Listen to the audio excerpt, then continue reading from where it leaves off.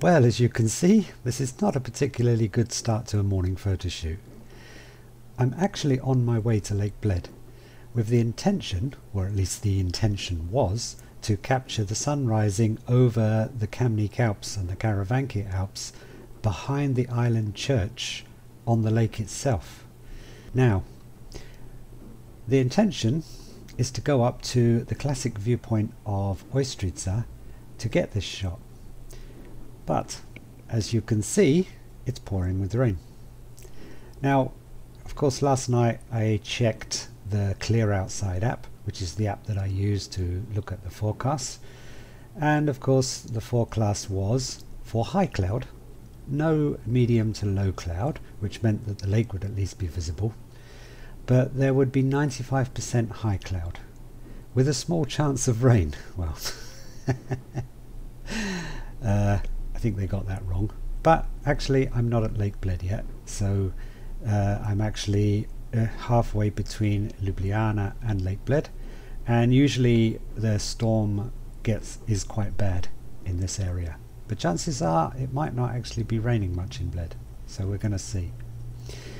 Now, high cloud is good if on the distant horizon it's clear and the sun is visible. But when I woke up this morning at 4 a.m., I woke to the sound of distant thunder. So I checked another app. Now, this app I use is called the Storm Radar app, and it's absolutely brilliant. So from this app, I could actually see storms and heavy rain over the whole of the north part of Slovenia. But it also showed that it would clear away from Lake Bled towards sunrise. Now the problem was, of course, it also showed that it would clear off to the east, which meant Mm, probably not much chance of the sun breaking through. But you never know. I'm ever the optimist. So I packed up and I'm on my way there now to see if maybe I get any luck. Now the sun is due to rise at 6.20. I awoke at 4am. Now you might wonder why I awoke so early. Well, the simple reason is it takes maybe 30 to 40 minutes to drive to Lake Bled from Ljubljana. I also, because the, the car park that is right next to the starting point for the hike has actually, they've actually hiked their prices. It used to be 5 euros per, per day, especially this time of year. It's now 3 euros per hour, 24 hours. So I don't park there anymore. I go and park at the um, train station up the hill. So from there, it's another 10 minute walk back down to the start of the hike.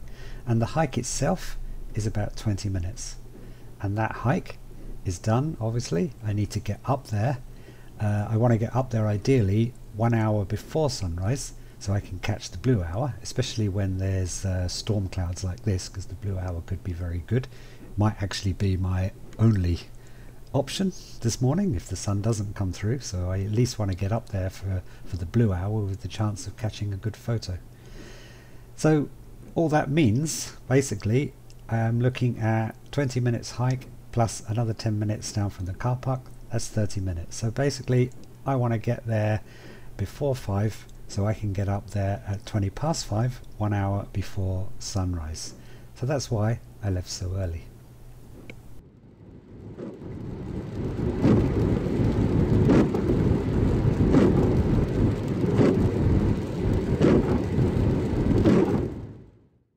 So this is the Storm Radar app and as you can see this uh, orange and red area is actually the area where I was driving through and the area just above, Radovljica it's called, this is close to Lake Bled. So you can see that there it's green, it's not quite so bad. And actually now I've arrived, it's not raining in Bled. And you can also see that as we press the play button and scroll through the time, we can see the storm's progress and you can see that the storm is actually moving away northeast. So that's a good sign.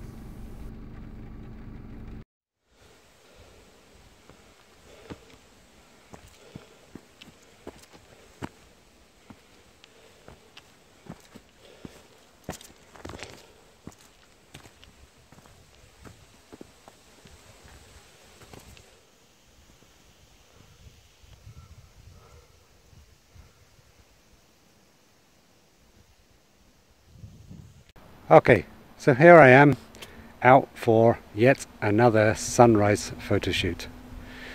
I'm here at uh, Ojstrica. This is the viewpoint over Lake Bled in Slovenia. As you can see behind me, there is Lake Bled.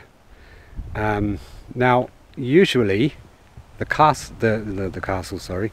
Now, usually the church on the island there is lit at night and early in the morning. But for some crazy reason, this morning it's not, of all times. It actually happened to me once before when I was running a, a photography workshop. So I don't know what the reason is, but I'm, I'm quite annoyed that they chose to do that tonight or this morning of all mornings. But still, uh, the the castle up on the cliff is lit, so I've been focusing mainly on the castle and the mountains right behind because there's some really nice light there at the moment.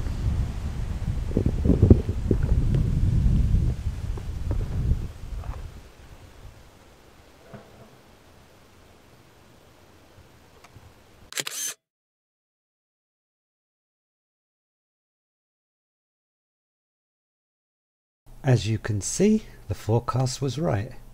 95% high cloud, and thankfully that 5% of clear skies was right over the mountains, and it let some lovely warm light flood through onto the lake and, conveniently, over the island church.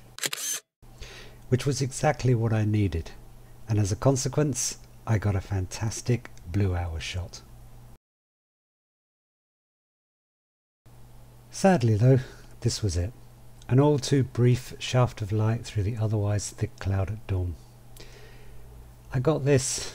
This was my best shot of the morning. After that, or soon after that anyway, the rip in the cloud stitched itself up and remained sealed for the rest of the morning. I waited around until 7.15, but nothing much else happened. So I didn't get the shot I'd gone there for, but rather than stay focused on my intended image, I had worked with the conditions and kept my photographic eye open for something else. And as a result, I got this great shot instead.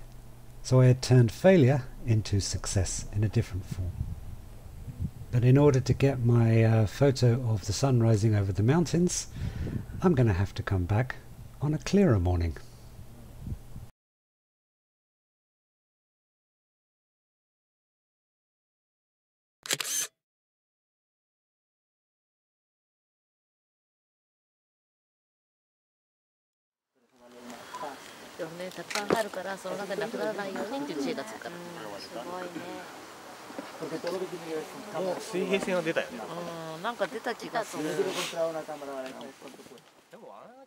Well, as you can hear, even at these ungodly hours, it's impossible to get this view to yourself. Ojstrica View is a very popular place with tourists and photographers. And at this time of year, especially throughout the summer and even now, it's September now, and uh, it's still pretty warm. And um, people are still coming up here to view this.